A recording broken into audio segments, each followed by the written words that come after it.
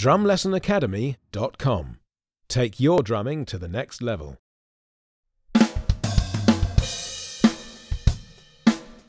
In this lesson, I'm going to show you how to play a lick that I first heard Buddy Rich play that can be used as a stop or a setup for a push or a hit.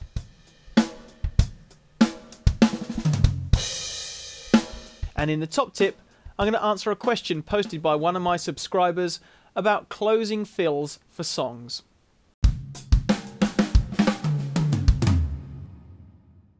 The lick I'm going to show you today is very versatile and can be used in a variety of different musical situations and or musical genres.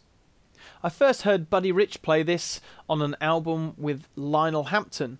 Lionel Hampton was a vibes player and drummer, and uh, Buddy Rich used this fill as like a closing fill to a song. So what the way that he played it, he played the last note of the song that was a held note. So he played like a crash cymbal, went straight into a buzz or a classic buzz roll or press roll, and then played this pattern that I'm going to show you now as a button to the song and basically finishes the song. The pattern is basically a left lead six stroke roll with two additional notes and sounds a little bit like this.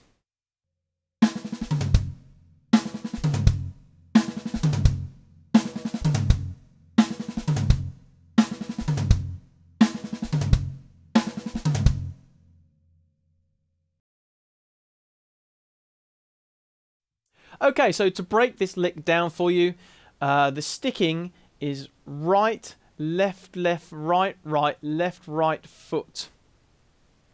So the first note is accented, that's on the snare. Accented note with the right hand, left, left, right, right, both of those on the snare, and then left hand on the first tom, right hand on the floor tom, and then one foot note on the bass drum. So Played nice and slow, that looks like this.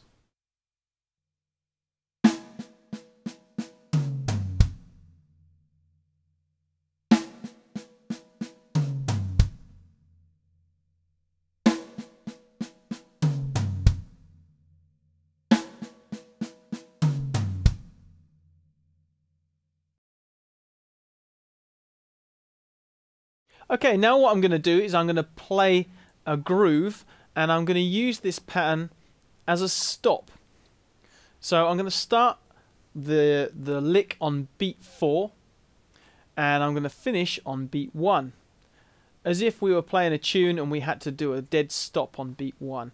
So I'm going to play two bars of time and at the end of the second bar on beat 4, starting on beat 4, I'm going to play this lick and finish on beat 1. I'm going to play that through a couple of times so that sounds like this.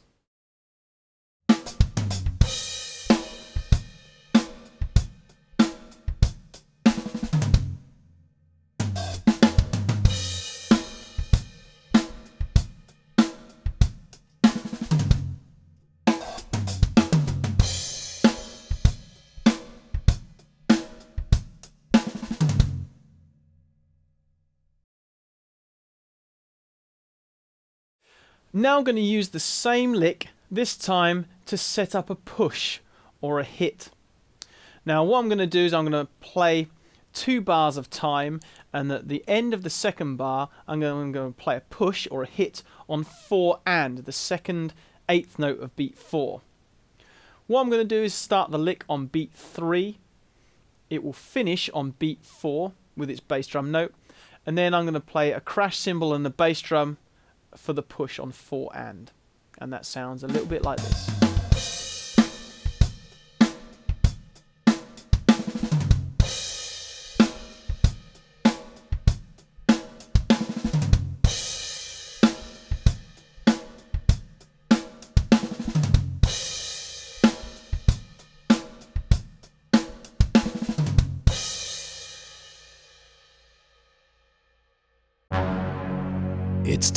For Darren's Top Tip.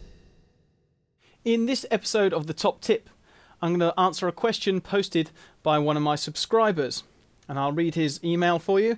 Um, this comes from Martin, and Martin writes I wondered if you consider covering phrases that you can use as final drum fills or shredding at some point. It's certainly a subject that eludes me, and I usually end up shutting my eyes and hoping for the best. Thanks again, Martin. Okay, so not an uncommon question that. Um, it's a little bit unclear as to where the problems um, the problems Martin's having here, but it could be one of three areas. So I'm going to answer this in three sections. Okay, so the first point um, has to do with uh, energy, and um, the way that I usually describe this, if I take a particular type of music, and usually if we play something that's uh, particularly uh, frenetic, something that's usually is quite high energy, something like um, some fast rock or punk type of thing. Rock and roll is another good example. Um, well, for example, if we're having playing just a basic time flow, we have a lot of notes in the right hand, maybe eighth notes playing quite quickly. What can happen is by the time we get to the end of the tune, we may have started to experience some sort of cramping in the hands or in the forearms, and by the end of the tune, we're barely holding onto the sticks because, uh, in effect, we are or can be experiencing some sort of overplaying. Now, by this I mean sometimes it's it's good to think about your energy expenditure whilst you play, and something like a punk track, for example, um, where you're playing very fast or fairly quickly with one hand for a prolonged period of time, can induce the uh, the symptoms um, that I've just talked about. And this is due to the fact that when muscles are engaged in work, usually what happens as a byproduct of that work is that we have some kind of um, just as like a car has exhaust waste, a muscle has waste in the form of lactic acid. Now, lactic acid buildup is the sort of thing that you feel if you go to the gym and you do any kind of weight training uh, you'll feel after doing, uh, let's say, 10 lifts of a certain, 10 reps of a certain weight, you may start to experience this lactic acid buildup, and it will prevent you from lifting more than, let's just say, 10 to 20 times. We experience that during uh, the act of playing the drums by playing something that's really quite quick, and we're trying to engage the muscle very rapidly uh, in a kind of high stress environment. And if we tend to overplay, i.e., play too forcefully or too loud, we can end up with this sensation of, of lactic acid buildup at the end of the song where, like I said before, we're barely holding onto the sticks. A good way of kind of managing this is one, to make sure that your technique is as efficient as possible, you're not wasting any energy. And number two would be to try and reduce some of the stress. And, and one way that you can do that is limit the amount of energy you put into it.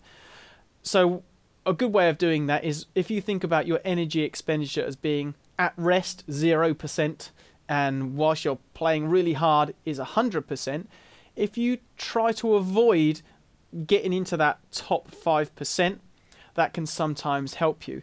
So or just to think about you know relaxing or reducing the amount of energy you put into something obviously you've got to keep the time and the sound there but sometimes reducing uh, the amount of energy you put into it by 5% won't really have very much uh, effect on the dynamic, i.e., how loud it will be. So that's one area that you can definitely um, start to think about. And it, it's just a form of pacing yourself over the period of, let's just say, a song or a rehearsal or a gig or whatever. So those type of things are worth uh, thinking about. It's just about how efficient and how efficient you are at, at expending the energy whilst you play. Okay, the second point has to do with vocabulary. Do you have enough vocabulary in your arsenal, your drumming arsenal, to actually play a closing fill? So, for example, you by the time you get to the end of the song, do you know what to do? Do you know what you're going to play? Um, a very easy fix for this, if it's a if it's a high volume type of thing where you hit the last chord with on the crashes, and then you've got to do some kind of drum fill a very easy pattern to learn is a linear three pattern, which is the sticking his right left foot, as used by John Bonham et al. Loads of drummers use this pattern. I have coincidentally uh, just finished a uh, a lesson that's available in the store, which is all to do with is basically an introduction to linear drumming and it takes this linear three pattern and shows you ways that you can move around the drums and you by using dynamics and subdivisions really start to get very creative with it so you might want to check out that there are loads of other patterns that you could you could play, and it would take more than maybe 20 episodes or or even 100 episodes of this podcast to include them all. So um, there's one good example, a linear 3 pattern. Now the last part of my answer here is to do with listening. And it's always good as a musician to try and listen to as much music as possible because obviously the, the more input we get, the more kind of creative ideas it's likely to uh, likely to spurn. So one thing I would definitely suggest is one, as a general rule, listen to as much music as possible, and two, listen to as much different music as possible, and number three, listen to different drummers. Now, obviously, if you're after a certain amount of vocabulary to play a fill at the end of a song, if you just listen to one drummer, the chances are that you're not going to hear as much as if you listen to 20 drummers, for example. So listening has a, large part to do with it. Not just that, but also it give you um, different ideas about how to end songs. So if you're in a band where let's just say you do a set of 10 songs and every song sounds the same at the all the endings are the same you might want to just take a little uh, time to think about how you can kind of get a little bit more creative with the endings for tunes. And one way of doing that is obviously to start listening to other artists and other drummers just to see what they do. Okay, that concludes this episode of The Top Tip. I hope that's answered a few questions for some of you, and thanks for Martin for sending that in. If you have a question you'd like answered, then please feel free to drop me a comment at the website, which you can do by visiting drumlessonacademy.com, or you can send me an email, and the email address is email at drumlessonacademy.com.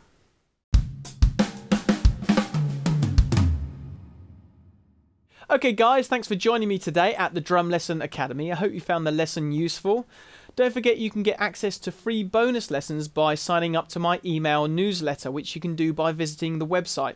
Also, if you've got any comments, questions, or suggestions, or you'd like to subscribe to the free podcast in iTunes, you can do all this by visiting drumlessonacademy.com. My name's Darren Ashford. Until next time, have a good one.